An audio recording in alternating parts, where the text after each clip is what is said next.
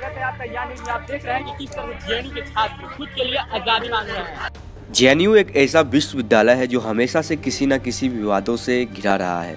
लेकिन इस बार सिर्फ़ जेएनयू के लिए ही नहीं पूरे समाज के लिए चर्चा का विषय बना हुआ है। जेएनयू के छात्रों ने 23 मार्च को एकजुट होकर सत्याग्रह के नाम से आंदोलन की शुरुआत की।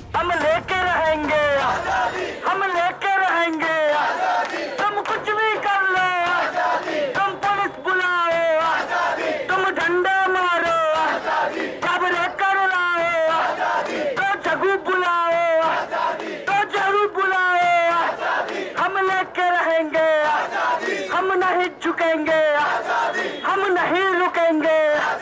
और पढ़ने लिखने की पढ़ने लिखने की। जो जेएनयू कैंपस से लेकर संसद भवन तक चला। इस आंदोलन में जेएनयू के छात्रों के साथ जेएनयू के पूर्व छात्र नेता कन्हैया कुमार भी मौजूद थे। आज़ादी देश से आज़ादी नहीं मांग रहे हैं। देश में जो बेरोजगारी है उससे आज़ादी मांग रहे हैं। जो सामाजिक अन्याय है उससे आज़ादी मांग रहे हैं। और जो लोग रखने की साजिश है उससे आज़ादी मांग रहे हैं।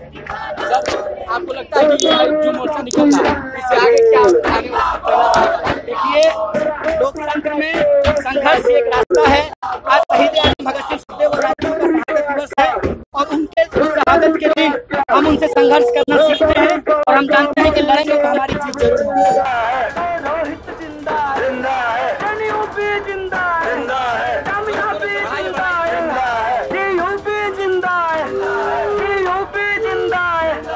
अंबेडकर पिजिन